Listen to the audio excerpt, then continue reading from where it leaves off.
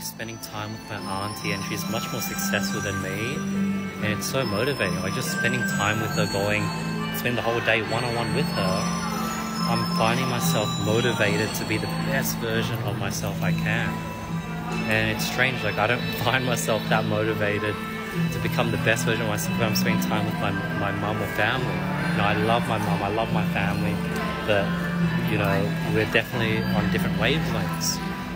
So I was like, huh, it's so surprising. My auntie just being in her presence, I osmosisly attract her good traits and I learn from her and, and it motivates me to just be the best version myself. And I find myself doing things that I don't oftenly do when I'm around, you know, old high school friends, mum, sisters, and I'm finding myself doing similar things when I'm with my auntie or when I'm with my mentor.